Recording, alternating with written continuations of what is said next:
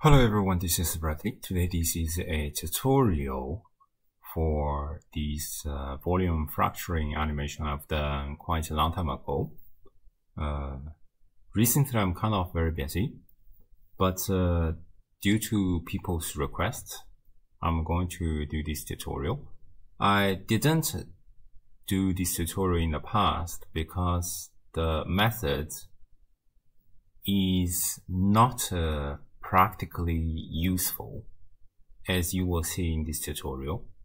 So I'm not sure if you will be able to learn or use it somehow. But anyway, so let's start. So here we are in Blender. As always, I'm going to use the presets which you can download for free from the link in the description. Uh, basically, the principle starts with the volume cube node. I talked about this node uh, for several times, but uh, basically this is a very unique node. This is the only volume node in geometry nodes that supports a field socket for now. Any other node, for example, you have a mesh to volume node, you do not have all this kind of diamond shape. This diamond shape means it's a field socket. It means it's working based on the geometry. But where's the geometry? You do not have geometry before. This is because this geometry is being integrated as this resolution. Okay, so it basically means that there are uh, 32 points in this space on the XYZ axis. So you have all these kind of points inside and every point is occupying a density of value. Okay. Uh, we will talk about more later, but uh, basically the idea now is that we are going to cut this volume with Voronoi texture. So let's just uh, take a Voronoi texture. And uh, I'm just going to take that into the distance to edge mode. And uh, usually you can visualize with a grid. Uh, for example, 100, 100, you can see this is how distance to edge looks like. The black line is the distance of zero. Okay. Uh, and by the way, you realize that the viewer must contains a geometry to view this diamond shaped socket because this is the prerequisite of field function. While this volume cube does not contain this geometry because it's integrated inside. Okay, but anyway, uh, we're basically just going to take a greater than and plug that into the density. So I expect you to see something. Let's uh, greater than some value. You can see there are some empty space being created, just like what we see earlier. But this time it's working on volume. And let's decrease the scale so that we can see the cut more clearly. So we have this uh, fractured cube. And let's take a value position so that we can control this value better. Okay. Maybe 5 is enough. And to visualize better, we are just taking the volume to cube. Uh, no, no, no. volume to mesh. Yes, so we have this shape.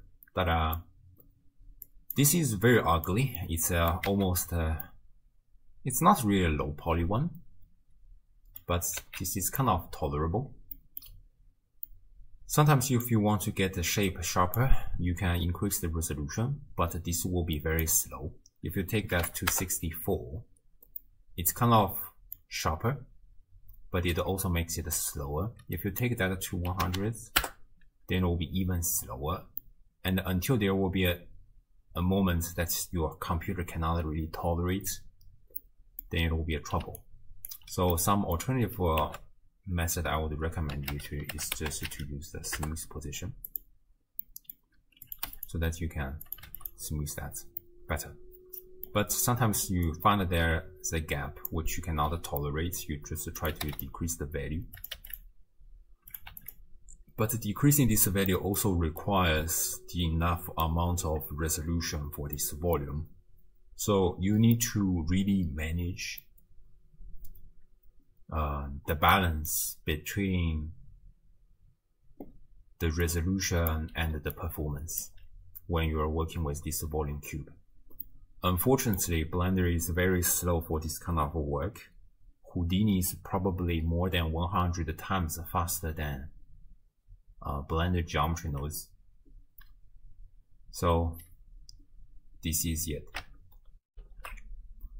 So this is the basic idea and uh, the rest is kind of very simple. As you see that we're using this greater than to manage how much we can actually cut on the shape.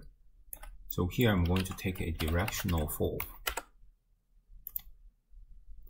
And I'm going to use the an empty to work with it. So to better visualize the effect, I mean, is that we can use this uh, directional falloff into the density. You can actually see this is working like a boolean. The part without a volume means there's a value of 0, and the part with any geometry means the value is 1 or more. So basically this is the idea. Maybe I can change this empty into a an arrow so that you know how it works. And uh, of course you can rotate it. So this is how it works. But this time what we are going to do is just to use this directional falloff to determine the value we're comparing with. So this fourth value goes from between 0 to 1. So we remap 0 to 1 to drive it. We know that so we need to cut on 3. So yes, you immediately have this kind of progressing fracturing event happening. And this is good. Uh, what if we want to work for things besides this kind of cube. Then, for example, you want to work with a cylinder. So the first thing you need to do is you need to determine the bounding box. This is like when you're working with any kind of smoke simulation of Mantaflow. Uh, you need to determine a kind of domain box of it. And uh, we basically use the bounding box to decide this minimum and maximum. But it does not determine the shape uh, yet. So how can we determine the shape? We're going to use a inside volume. No, no, no. It's inside volume. Yes, this is the correct one. And then we basically do a multiplication.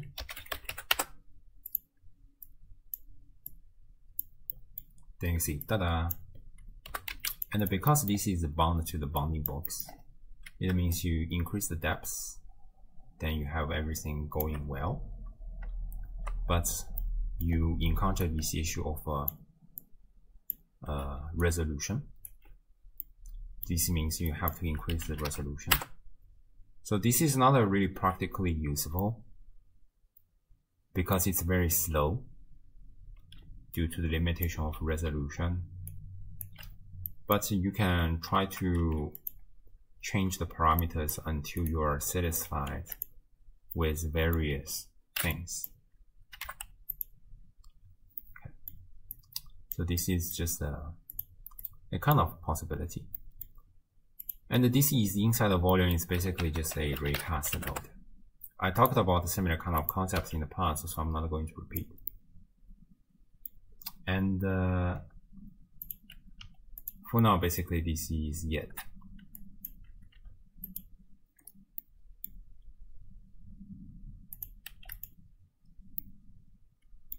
Uh, let's decrease. Uh, yes. And uh, we can still drive our empties. You can see this is fracturing. And then we're going to add the light on the edge of these islands. Basically, we're still going to measure the Voronoi texture and this directional falloff. So if I view this uh, Voronoi texture, uh, and we try to do another greater than,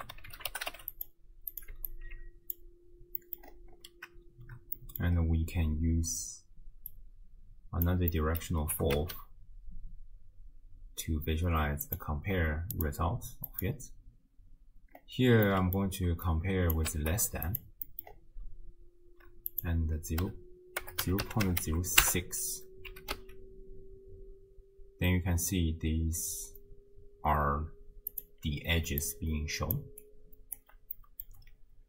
Can we actually use the same value?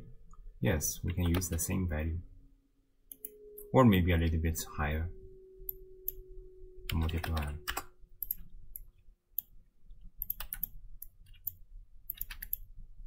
The issue is that uh, if you having anything smaller than this value, then they will be deleted.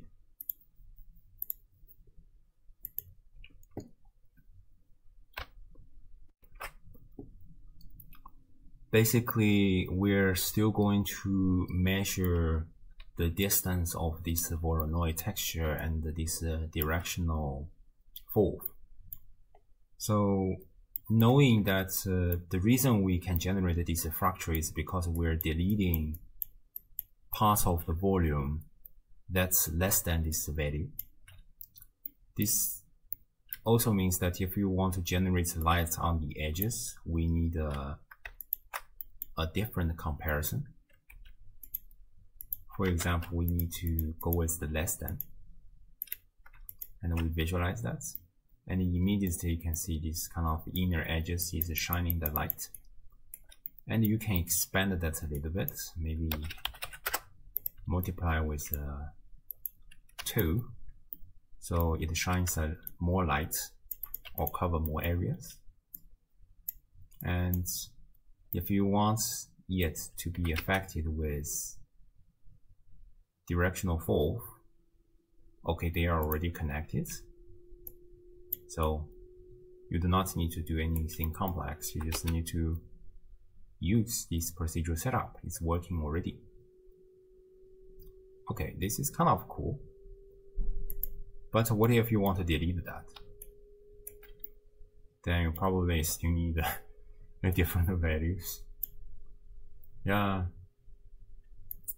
If you want to delete that, let's just duplicate that. And we use a float curve. we take a high amounts, low amounts.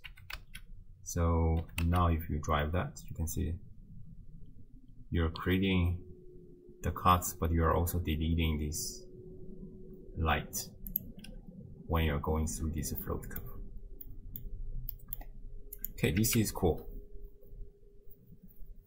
And uh, in order to output this into shader, we just uh, store name the attribute.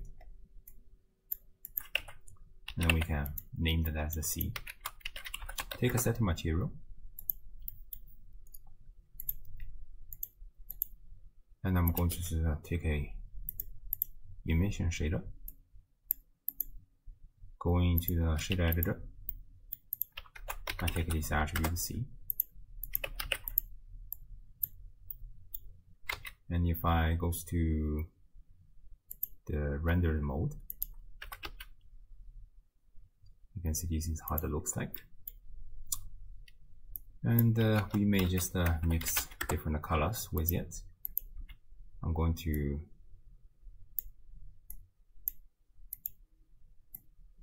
take the red color and take the blue color or yellow color whatever stuff so now you have this effect uh, it kind of looks weird but you can tweak it whatever Okay. So anyway, this is the basic principle. But then how can you fracture them into different pieces? I talked about uh, split to instances recently. You do not uh, really need to do this, but uh, sometimes I think this is easier to understand once everything is into the instances. Um, you can follow the tutorials in the past, but basically here I'm going to use the presets. So I have this uh, group to instances and it requires a group ID. By default, it's already using the mesh island. So you do not need to worry. Let's take a set of position. And then we take a random value.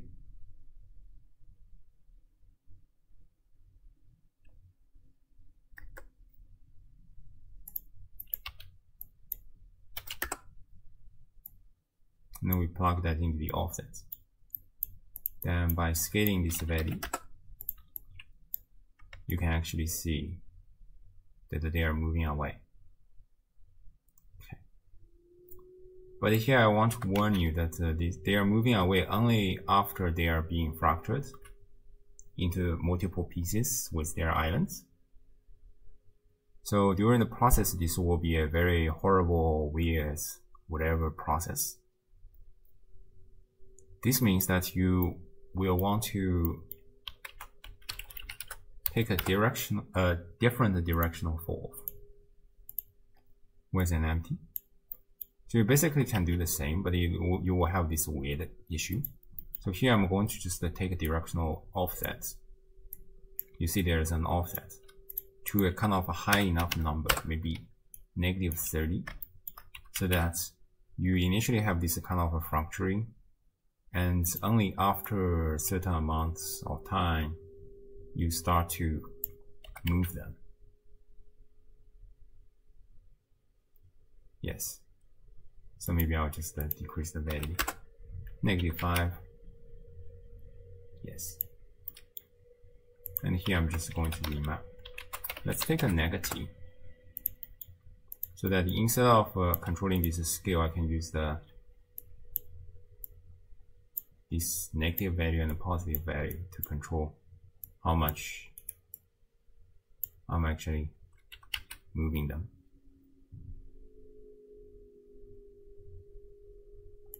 Okay. And basically this is it. It looks like these two are separate process and they are separate process. You do not want to combine them together. Otherwise, if this directional offset is not enough, sometimes you will have a premature exploding of your geometry. You can see the, the this one is shaking because the island is not being separated yet. So basically this is it.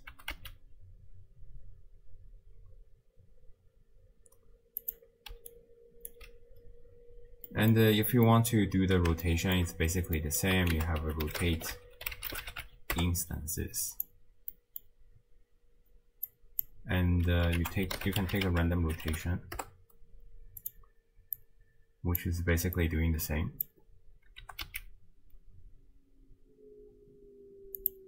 Uh, let's remap 0 to 1.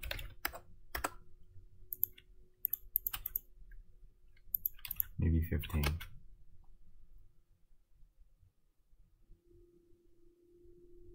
Then you have this effect. Yeah, it looks kind of ugly, whatever. And basically this is it. This isn't a very complex setup, but it's not really practically useful due to the performance issue, due to this splitting issue, and uh, so on and so forth. But anyway, I hope you enjoyed this video. I'll probably see you next time. Bye bye.